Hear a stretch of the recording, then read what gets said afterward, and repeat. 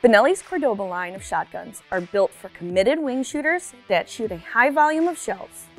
It is named after the Cordoba region of Argentina, where the sky can literally become darkened by millions of doves. What I'm showing you today is the latest iteration of the shotgun, the Ethos Cordoba, which Benelli has recently introduced with some new benefits that make it even better than the original.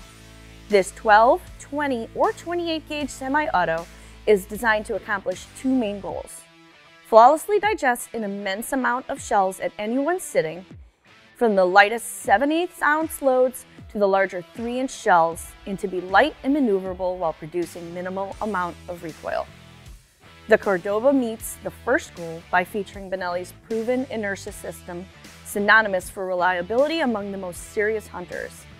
But there is one notable improvement over the older version. A ball bearing detent system that forces the bolt into the battery even when you close the action gently. This means no danger of missing out on birds each time you bring your gun to the shoulder. The black synthetic stock features Benelli's ComforTech 3 system, which makes it gently contract under recoil. The butt pad and comb are extra soft and soak up the gun's rearward movement. And the barrel is ported to further reduce recoil and muzzle jump.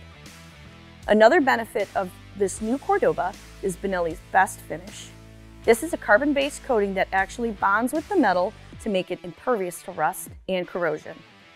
It is so effective that Benelli backs this promise with a 25-year warranty on the metal treated with Best.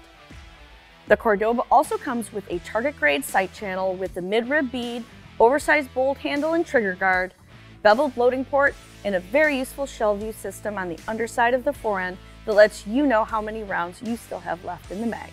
So check out the Ethos Cordoba for yourself at BenelliUSA.com or visit your local Benelli dealer to see it in person.